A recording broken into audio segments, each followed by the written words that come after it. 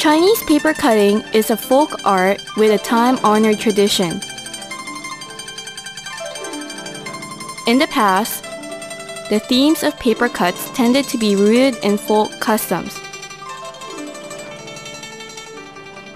such as festivals,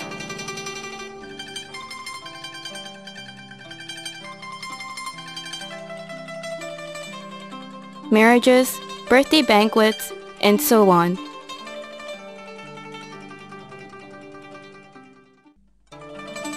Nowadays, this handicraft has become enriched with modern contents.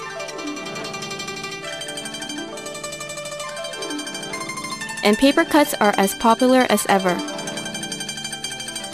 whether they are used as gifts or as decorations.